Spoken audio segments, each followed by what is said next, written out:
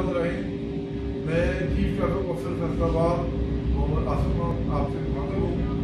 जैसा कि आप लोग जानते हैं कि मुल्क के अज़ीज़ में कोविड नाइन्टीन या कोरोना इसको कह लें, ये पूरी दुनिया की तरह अपने मुल्क में भी आजकल ये बड़े जोरों पे है।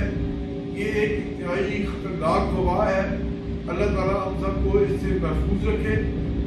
सिटी पुलिस फैसलाबाद इसके लिए अपना लोगों को आगाही मुहिम के लिए अपना भरपूर किरदार अदा कर रही है। हमने अपने वार्डन को भी मास्क और सैनिटाइजर वगैरह मुहैया किए हैं, पहना रहे हैं उनको मास्क। इसी तरह मेरी अवाम नार से भी गुजारिश है कि खुदा के लिए अपने आप को इस वबा से महफूज रखने के लिए,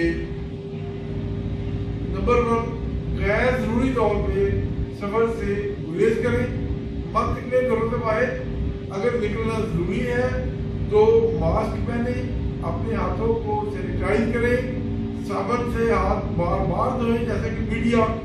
आप लोगों को बार बार चीख चीख के मीडिया कह रहा है कि साबन से बार बार हाथ धो, धोए, बीस सेकंड तक हाथ को धोए। क्योंकि ये जरासीम हाथों के ज़रिए, मुँह, नाक और कान के ज़रिए बंदे के जिसम एंटर होते हैं।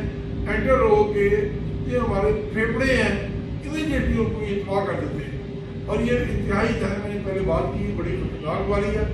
पी एस सी गाड़ियाँ हों, मोटरसाइकिल हो, जो ड्राइवर हैं और जो बाकी सवारियाँ बैठी हैं, तमाम के लिए लाजमी है कि वो मास्क पहने बगैर मास्क के सफ़र न करें। ये एक हम अपना रोल प्ले करेंगे, इंशाल्लाह कर भी रहे हैं।